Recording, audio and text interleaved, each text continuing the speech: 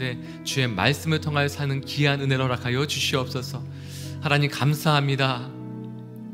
우리의 생명이 죽게 있고 우리가 말씀을 통하여 다시 한번 살아난 귀한 은혜를 이 아침에 허락하여 주시옵소서. 감사하며 기대하고 소망하며 살아계신 주님 예수의 이름으로 기도드리옵나이다. 아멘. 우리 생명 우리의 소망 되신 주님께만 감사와 찬양 박수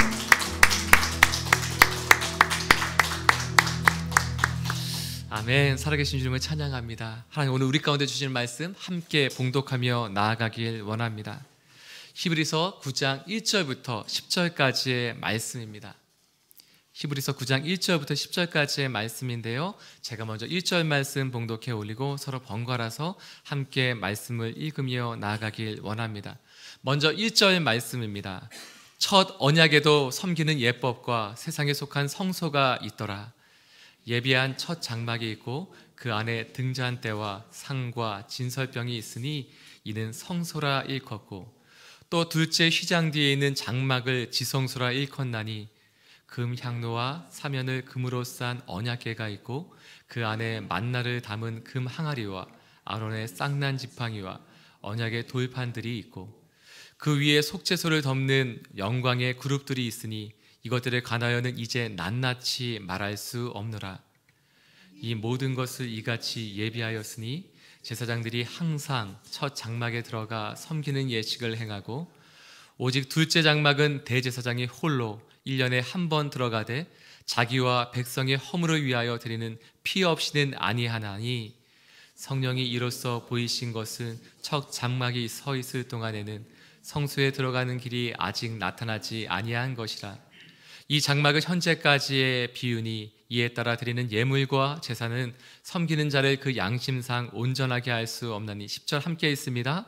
이런 것은 먹고 마시는 것과 여러 가지 씻는 것과 함께 육체의 예법일 뿐이며 개혁할 때까지 맡겨둔 것이니라. 아멘. 한계라는 말씀으로 라디선 목사님 말씀 선포해 주시겠습니다. 할렐루야. 아, 살아계신 하나님을 찬양합니다. 아멘. 아, 여러분 행복하십시오. 아, 성령 충만하십시오. 아멘. 오늘 말씀 1절을 함께 읽겠습니다. 1절 시작. 첫 언약에도 섬기는 예법과 세상에 속한 성소가 있더라.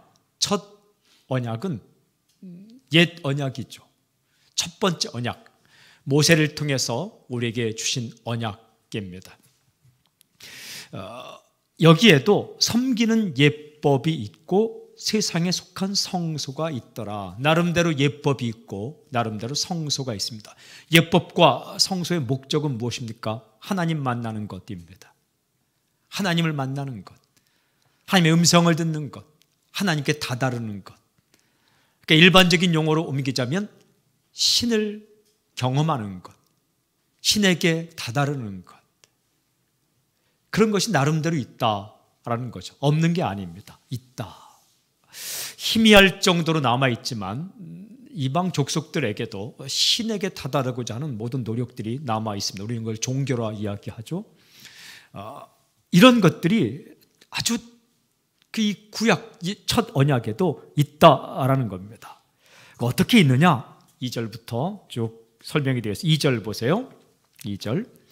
예비한 첫 장막이 있고 그 안에 등잔대와 상과 진설병이 있으니 이는 성소라 일컫고 그 첫 장막에는 성소라 일컫는다. 첫 장막은 성소죠. 거기에는 등잔대, 상, 진설병이 있다. 진설병은 진설에는 떡을 가리키는 거죠. 두 번째 3절 보세요. 또 둘째 휘장 뒤에 있는 장막을 지성소라 일컫나니 지성소가 있다. 그건 둘째 장 휘장 휘장 뒤에는 둘째 장막이다라는 거예요. 그 안에 무엇이 있느냐? 4절 함께 읽을까요? 4절 시작.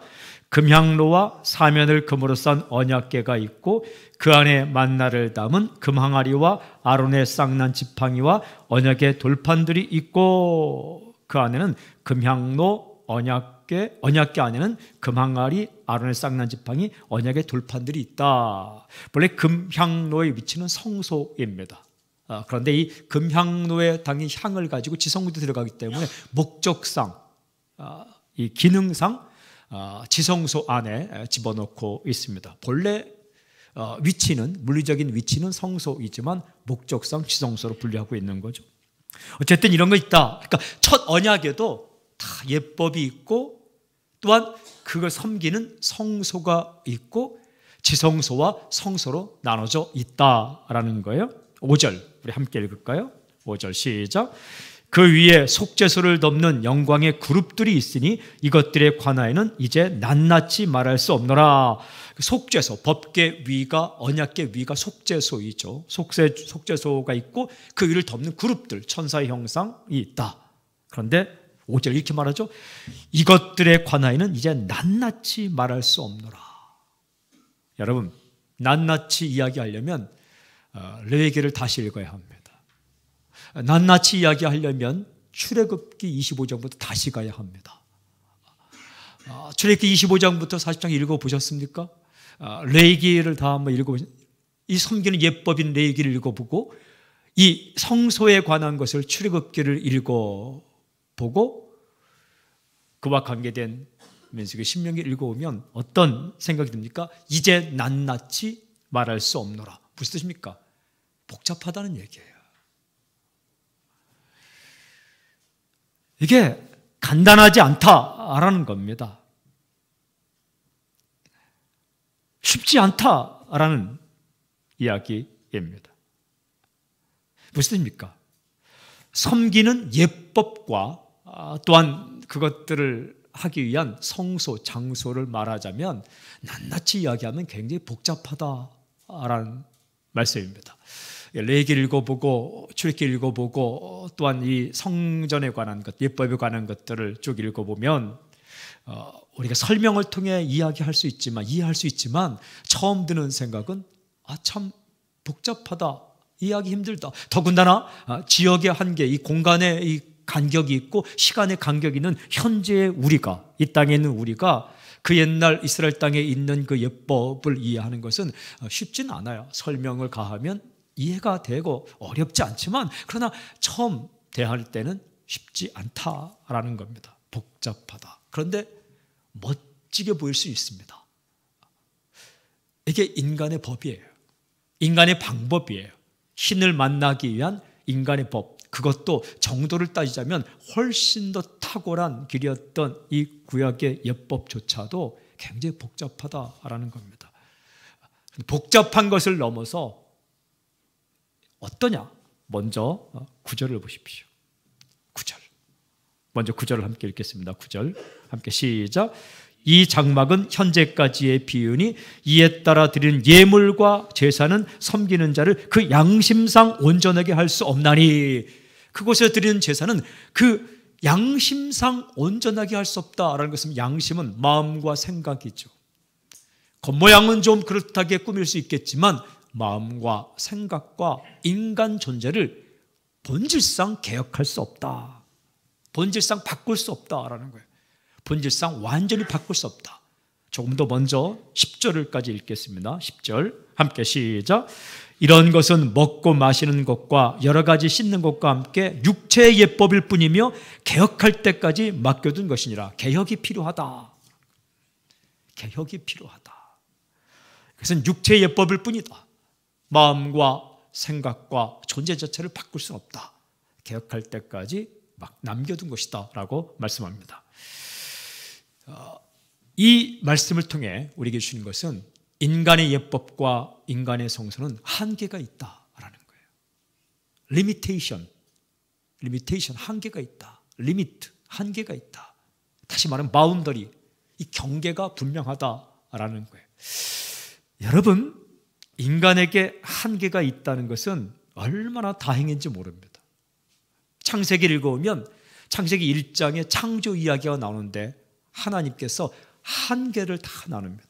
하늘과 땅의 한계를 정하고 바닷물과 육지의 한계를 정하고 인간과 다른 동물들의 한계를 정합니다. 이게 다 경계가 있는 거예요. 경계선. 인간에게는 능력의 한계가 있습니다.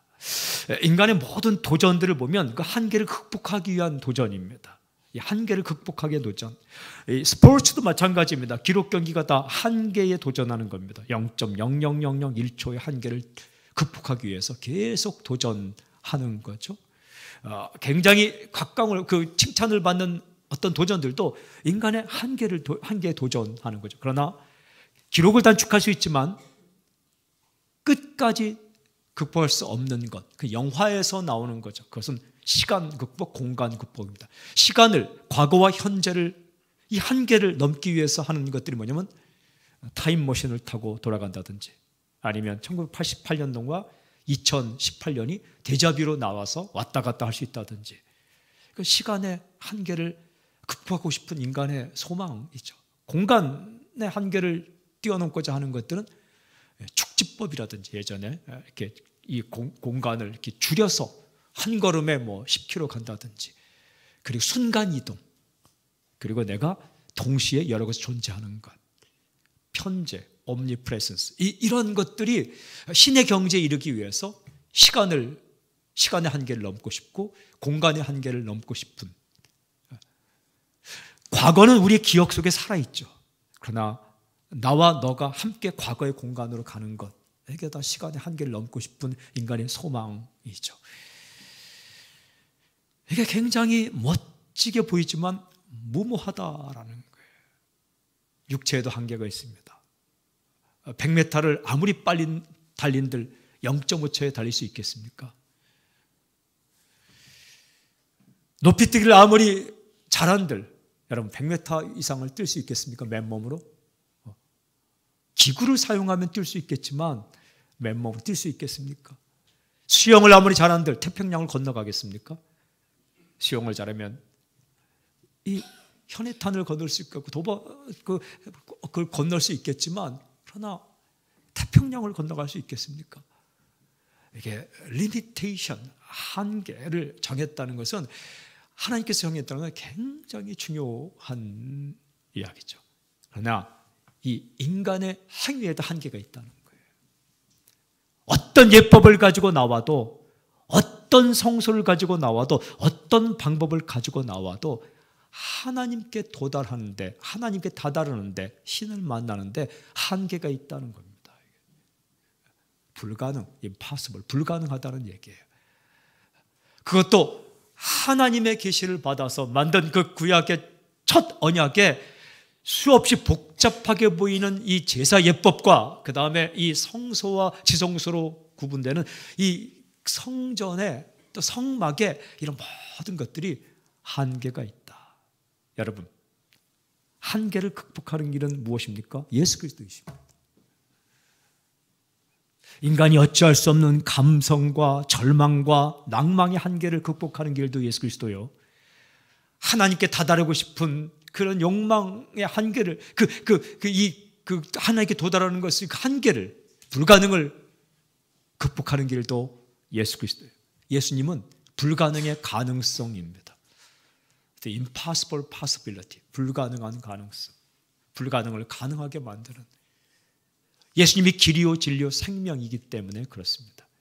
그 이야기를 하고 있는. 그런데 이 말씀을 하시면서 다시 이 성전의 구조로 성막의 구조로 들어가서 성소와 지성소를 비교합니다.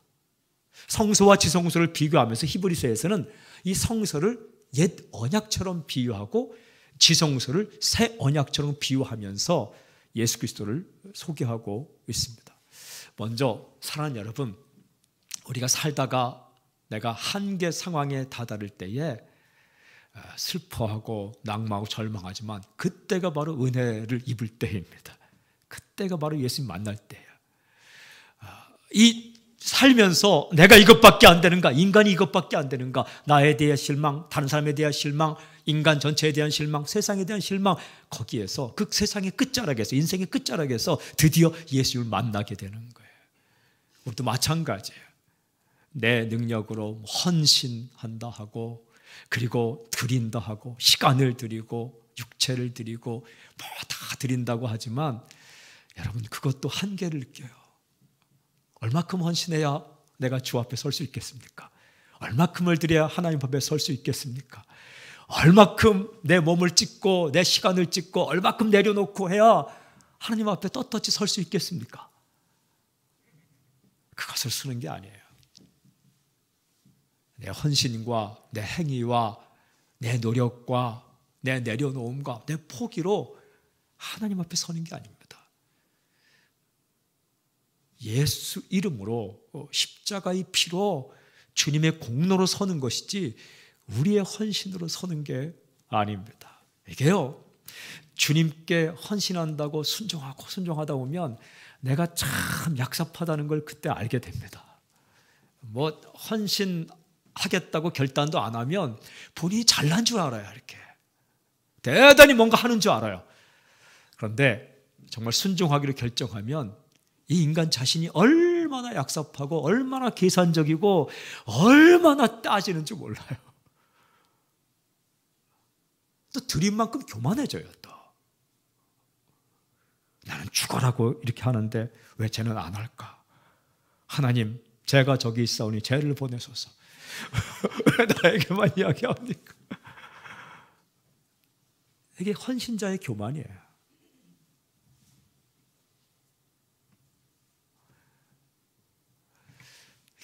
주 앞에 내가 다 드리겠다 생각하면 끝까지 드리지 않는 그 무엇이 보이기 시작해요. 주 앞에 내가 다 항복합니다. 꺾습니다. 하면요. 그때 비로소 보이는 게 자기의 고집이 보여요. 맨날 고집 피우는 사람은 자기가 고집 피우는지도 몰라요. 참 신기하게 남을 마음을 아프게 하는 사람은 자신은 마음도 안 아파요. 근데 가끔 가다 한 번씩 마음 아프게 하는 사람은 그 마음, 마음 아프게 한 것 때문에 얼마나 마음 아파하는지 몰라요. 그러니까 못된 사람은 건강해요, 또 이렇게 보면. 다 남에게 풀고 남 아프게 하고 건강해요. 근데 어떻게든 좀 양심으로 살고 어떻게든 사랑하며 살고 어떻게든 주님 앞에 바르게 살고자 하는 사람은 그렇게 마음 아파하고 그러니까 죄인이 더 죄인인 걸 깨닫는 게 아니라 주 앞에 서, 서면 자신이 죄인인 걸 깨닫게 되는 거예요.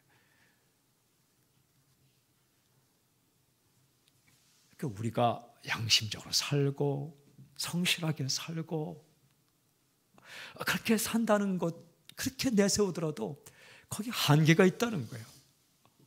아무리 그렇게 거룩하게 산들 열어서 여러분 어, 완전하게 거룩하다고 내세울 사람이 누가 있겠습니까? 깨끗하게 살기를 원하는 것만큼 내가 더러운 걸 더, 더, 더 이렇게 느끼게 되는. 한계. 그런데 이 인간의 한계를 느끼는 자체가 복이에요, 복. 자기가 뭔가 된 것처럼, 선 것처럼, 할 수 있는 것처럼 날뛸 때는 아직 멀었어요. 이렇게. 자신 만만할 때는 아직 멀은 거예요. 이렇게 주 앞에 벽 앞에 서본 경험. 칼 야스퍼스가 말한 한계 상황을 경험하는 것. 보네포가 얘기한 것처럼 이 벽 앞에 서 있는 경험. 키얼케골이 말한 것처럼 단독자로 주 앞에 벌거벗은 몸으로 서 있는 경험. 여기서부터 은혜 경험이 시작되는 거예요. 여기서부터 하나님을 만나는 경험이 시작되는 거예요. 인상의 끝자락에서 새로운 시작이 있는 거죠. 그러니까 하나님 경험을 한마디로 요약하자면 끝 안에 새로운 시작이 거예요. 막다른 골목에서 길이 열리는 경험을 하는 거죠.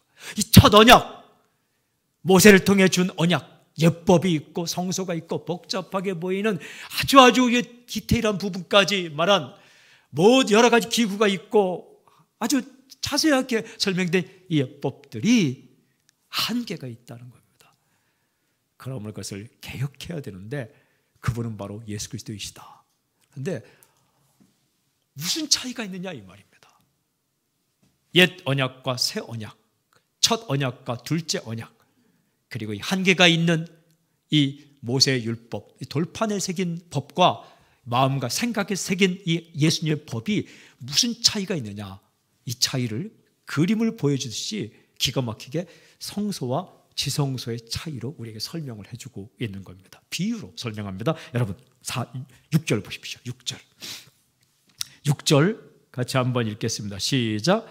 이 모든 것을 이같이 예비하였으니 제사장들이 항상 첫 장막에 들어가 섬기는 예식을 행하고 여기 보면 첫 장막은 성소를 이야기하죠. 성소에는 제사장들이 여러 명의 제사장들이 항상 매일매일 들어가야 된다라는 거예요. 항상 매일매일 진설병을 갖다 놓고 매일매일 들어가야 된다. 한 번으로 끝나는 게 아니라 여러 번 들어가야 된다는 거예요. 한 번 하고 다 완성되는 게 아니라 끝없이 끝없이 들어가야 된다라는 겁니다. 끝없이 끝없이 우리를 피곤케 하는 것은 어떤 겁니까? 이거를 내가 몇 번을 더 해야 돼 이런 생각이 있을 때 이게 피곤해지는 거죠. 끝없이 이게 성소의 성격이라는 거예요. 끝없이 반복적으로 해야 되는 게 성소의 성격이고 그 다음에 7절 보세요.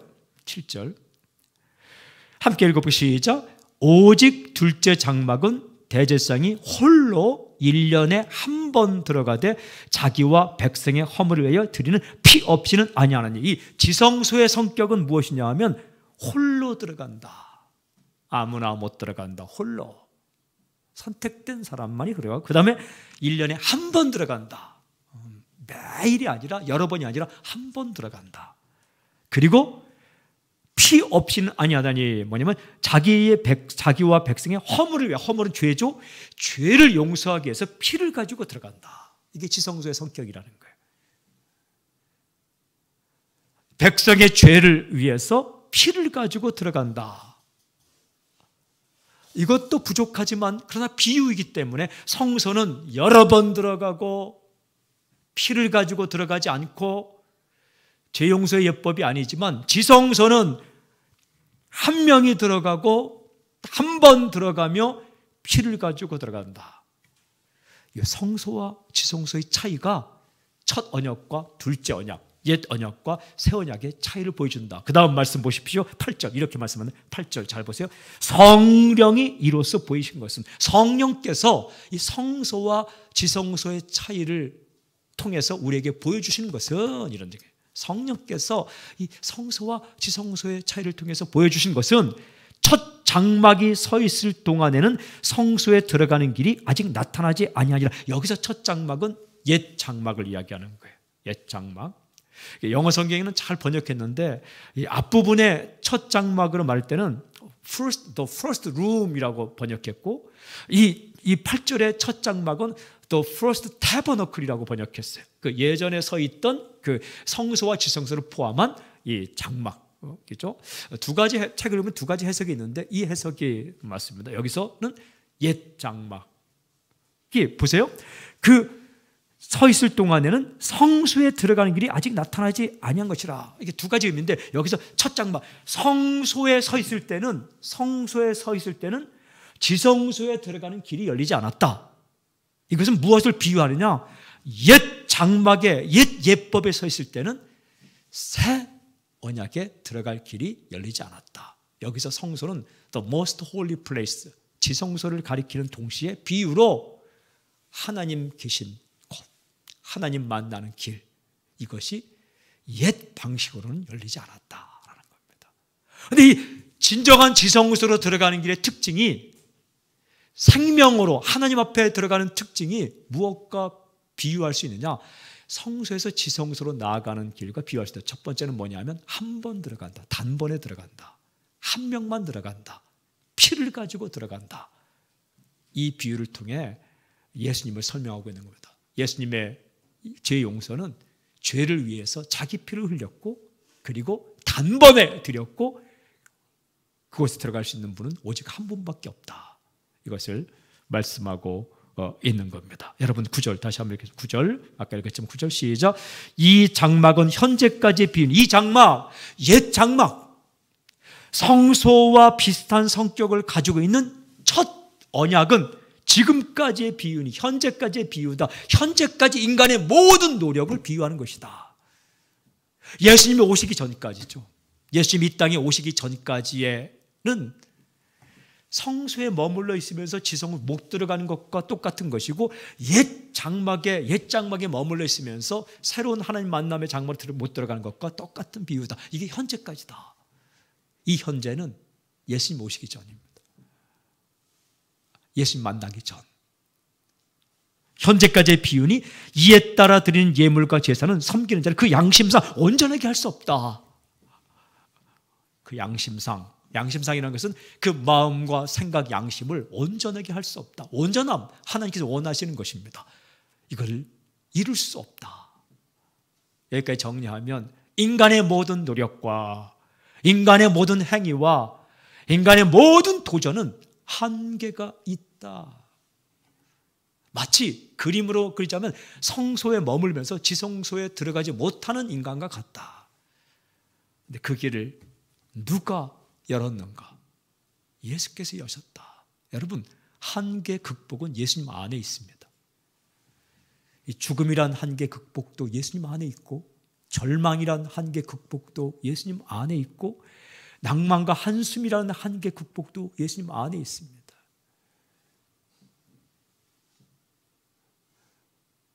그러므로 죄를 죄를 용서받기 위한 모든 인간의 노력은 한계가 실패했죠. 그러나 그 죄 용서의 새로운 길은 예수님 안에 있어요. 우리가 살아갈 때도 마찬가지예요. 다른 방법 다 써봐도 안 될 때가 있어요. 그때야말로 은혜를 받을 때예요. 그러니까 때때로 절망하는 것도 괜찮아요. 난 한 번도 절망한 적이 없다. 나는 한 번도 내 인격에 대해 실망한 적이 없다. 나는 한 번도 인간에 대해서 정말 인간이 아주 진절머리 난다는 걸 깨달은 적이 한 번 느껴본 적이 없다. 그건 당신의 성격이 아주 아주 좋거나 인생을 제대로 살지 못했거나 정말 대단한 사람을 만나보지 못한 인간은 두 가지로 은혜를 받아요. 아주 진짜 존경할 만한 사람을 만나면서 은혜를 받기도 하고 진 진짜 진절머리 나는 사람을 만나면서 은혜 가운데 들어가요. 이렇게 냉탕과 온탕을 왔다 갔다 하는 것처럼 하루에도 12번 왔다 갔다 해요. 위로 올라가고 내려가는 것처럼 업앤다운 롤러코스터를 탄 것처럼 이렇게 하면서 사랑 여러분 어느 장소에 가도 다 이게 있어요. 어떤 일을 해도 자기 한계를 느끼기도 하고 어떤 일을 할 때도 자기 보람을 느끼기도 해요. 이 모든 것을 극복하는 길은 예수 그리스도. 그분만이 길이요, 진리요, 생명. 그래서 이걸 다 뒤엎었다는 거예요. 누가? 하나님께서. 인간이 뒤엎은 게 아니라 하나님께서 이 인간의 한계를 뒤엎었다. 그 중에 첫 번째가 죽음의 한계를 깨뜨렸어요. 이 죽음과 생명의 경계선을 허물었어요. 죽음과 생명의 경계에 다리를 놓으셨어요. 그분이 예수 그리스도예요. 하늘을 여셨어요. 하늘을. 굳게 닫힌 하늘의 문을 여셨어요. 그리고 하나님께서 팔을 뻗으셨어요. 오라고. 그래서 죽음에서 생명으로 옮겼느니라. 누가? 요한복음 5장 24절 보면 예수 그리스도를 믿는 자는 심판에 이르지 않으니 사망에서 생명으로 옮겼느니라. 사망에서 생명으로 옮기는 거예요. 이 사망과 생명의 경계선이 허물어진 거예요. 예수 그리스도 안에서. 십자가의 피로 말미암아. 어떻게? 단번에 지성소로 들어가신 예수 그리스도. 어떻게? 홀로 지성소로 들어가신 예수 그리스도. 어떻게? 죄를 용서하기 위한 피를 가지고 들어가신 예수 그리스도. 그분 안에서 죽음이 해결되었고 인간의 낭망이 해결되고 절망이 해결되고 그리고 무엇이 또 해결됩니까? 원수 관계가 해결되는 거예요. 에베소 2장 14절에 보면 유대인과 헬라인의 이 두 양극이 하나가 되는 거예요. 해결 벽을 허무는 겁니다. 완전히 벽을 찢어버리는 거예요. 이렇게. 여러분과 저 사이에 여러분과 저 사이에 이렇게 종이 한 장만 있어도 얼굴 못 봐요. 대단한 능력, 여러분 시력이 대단한 것 같죠? 종이 한 장만 있어도 얼굴 못 봐요. 한 권 있으면 더 못 봐요. 이게 유대인과 헬라인 사이에 있다는 거예요. 남자와 여자 사이에 있다는 거예요. 종과 자유인 사이에 있다는 겁니다. 나와 너 사이에 있다는 거예요. 나와 너 사이에서 이게 생기는 게 관계죠. 그게 인격이에요. 근데 그, 그, 이, 이, 이 벽이 있기 때문에 그 벽이 얼마나 단단한지 몰라요. 시간이 가져다주는 법, 성, 성격이 가져다 주는 이 벽, 그 경험이 가져다주는 벽. 어떤 사람에게는 슬픈 경험만 아픈 경험만 있어도 그와 비슷한 사람 만나면 갑자기 소스러치게 놀랍니다. 그 트라우마죠. 어떤 일에 대한 사람에 대한 어떻게 그 트라우마 있어도 얼마나 사람이 사는 게 힘들지 몰라. 이 벽 어떻게 해야 됩니까 이거? 벽을 뛰어넘습니까? 이 정도는 뛰어넘을 수 있지만 여러분 거대한 벽은 뛰어넘을 수 없어요. 뛰어넘을 수 있는 벽은 벽도 아니에요. 뛰어넘을 수 있는 벽은 그 벽도 아니에요. 아주 높고 깊이 뿌리 박은 인간에게 있는 그 벽들을 여러분 이게 어, 누가 에베소 2장 14절에 보면 주님께서 이렇게 찢었다는 거예요. 이렇게. 아이, 죄송합니다 이거. 네. 그래도 제가 딱 이거 지나간 걸 찢었어요. 허물어뜨렸다는 거예요. 그럼 사랑 여러분 벽 앞에 설 때 주 앞에 엎드리십시오. 그럼 벽은 문이 될 것입니다. 산 앞에 설 때 주 앞에 엎드리십시오. 그럼 그 산은 길이 될 것입니다. 그리고 원수 같은 사람 앞에 설 때 주 앞에 엎드리십시오. 그 원수가 친구가 될 것입니다. 죽을 것 같은 그 상황 가운데 그 위기 상황 가운데 있을 때 주 앞에 엎드리십시오. 그 위기가 기회가 될 것입니다. 여러분. 내, 나에게 실망할 때, 그때 그 주 앞에 서십시오. 그러면 그 자신의 약점 때문에 하나님의 은혜를 경험하는 오히려 자기의 부족함이 귀엽게 보일 수 있습니다. 사랑하는 여러분, 한계 극복의 길은 예수 그리스도예요. 그분이 생명의 길을 여셨어요. 그리고 이 땅 가운데 슬픔과 낭만과 절망과 한숨과 원한과 그리고 미움과 시기와 질투와 죄악과 그 억울함으로 살 수, 살고 있는 우리에게 현재까지 살고 있는 우리에게 그것을 다 깨뜨리고 그런 한계를 뛰어넘어 소망과 희망과 사랑과 용서와 긍휼과 그 두근거림과 설레임과 그리고 잘해주고 싶은 이 긍휼의 마음을 주신 분이 예수 그리스도예요. 오늘도 그분이 우리 앞에 이렇게 서 있습니다. 오늘도 엎드리고 내일도 엎드리고 내가 지성소로 들어간 거 아닙니다. 내가 피를 흘리는 거 아닙니다. 그 예수님을 힘입어 나아갈 때에 여러분 우리가 이 땅 가운데 살 수 있는 거예요. 저는 오늘 오면서 딱 결정 지은 게 있어요. 내일 큐티의 한계를 넘지 않으리라. 내일 본문이 얼마나 은혜스러운지 몰라요. 스스로 하십시오. 해답이 다 내일 본문에 있어요. 언급하진 않겠어요. 읽으면 쫙 이해가 돼요. 어, 그래도 조금만 넘었다가 돌아오겠습니다. 읽진 않겠지만 보면은 예수 그리스도께서 아주 중요한 부분이 내일 보면 예수 그리스도께서 9장 12절에 오면 자기 피로 자기 피로 단번에 영원한 제사를 드렸다. 해답이 여기 있고 9장 22절에 오면 피 흘림이 없으면 죄사함이 없다. 이렇게 피를 흘려서 아, 죄를 용서했다. 그러므로 예수님이 해답이시다. 예수님이 대답이시다. 예수님이 길이시다. 예수님이 개혁자이시다. 예수님께서 길을 여셨다. 예수님이 한계를 허물으셨다. 내용이 있습니다. 아, 그게 다 내용이에요. 잠깐만 발만 디뎠다가 돌아왔습니다. 여러분, 그 예수님을 찬양합니다. 할렐루야. 주님을 찬양합니다. 아멘. 낭만 가운데 있는 사람이 그 한계를 뛰어넘어 소망을 발견하는 게 예수님밖에 없습니다. 오늘 당신이 주 앞에 엎드리고 또한 우리가 기도할 때에 우리의 사랑하는 사람들이 어려움 가운데 있다면 주 앞에 엎드리고 뛰어넘을 수 있는 어, 놀라운 역사의 길을 저는 선포합니다. 어, 내일 주일입니다. 우리 주일날 어, 이, 이, 이곳으로 찾아오는 많은 사람들이 얼마나 이 벽, 막다른 골목 같은 경험, 거대한 벽 앞에 선 경험, 그리고 웅덩이에 빠진 것 같은 경험, 그런 마음을 가지고 오겠습니까? 주님 앞에 섬으로 말미암아 뛰어넘고 달리고 일어나고 다시 달려가는 독수리가 날씨 올라갔지 새 힘을 얻고 다시 창공을 나는 다시 도전하고 다시 시도하고 다시 사랑하고 다시 소망하고 다시 헌신하고 어, 다시 저 앞으로 달려가는 놀라운 회복의 역사가 주님 안에서 일어나기를 저는 선포합니다.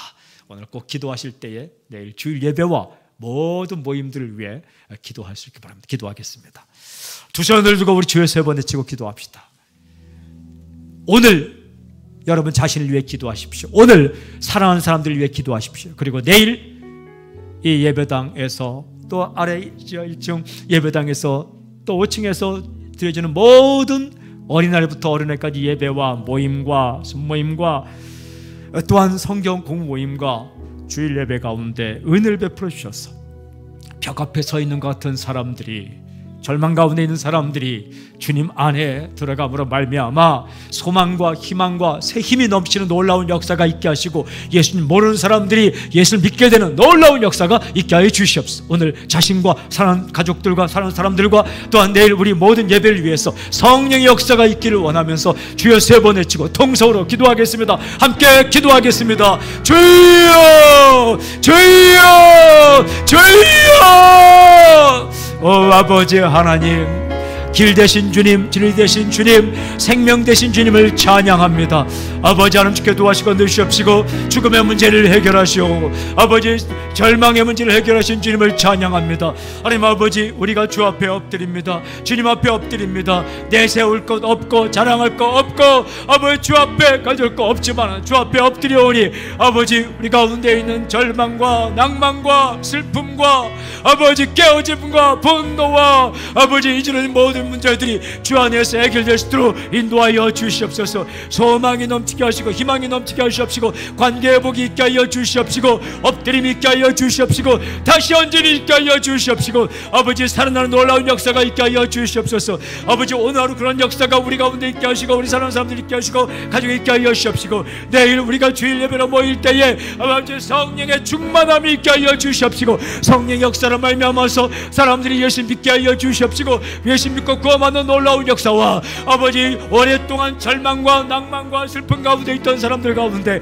회복이 있게 하시고 생명의 역사가 있게 하여 주시옵시고 다시 살아나게 하여 주시옵시고 한계를 뛰어넘는 놀라운 역사가 있게 하여 주시옵소서. 살아나게 하여 주시옵소서. 아버지 날아가게 하여 주시옵소서. 회복되게 하여 주시옵소서. 아버지 성령의 오신절 마가에 달아 있던 성령 역사가 바람같이 불같이 역, 역, 역사하는 놀라운 역사가 이 사건이 일어나게 하여 주시옵소서. 할렐루야.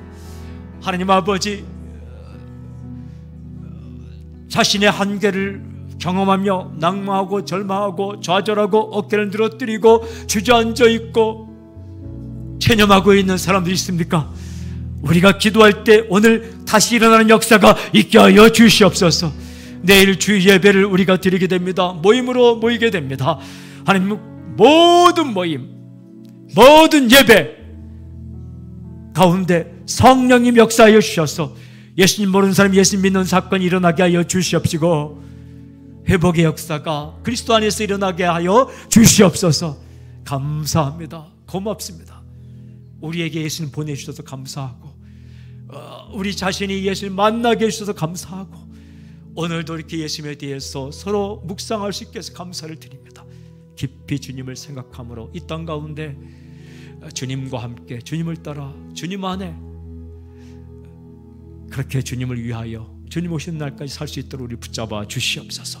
예수님의 이름으로 기도하오며 지금 이 시간 우리 예수 그리스도의 은혜와 하나님의 사랑과 성령님의 교통하심이 이 자리에 있는 예수님의 제자들 위해 하나님의 아들 딸들 위해 지금부터 영원토록 함께하기를 간절히 축원하옵나이다. 아멘.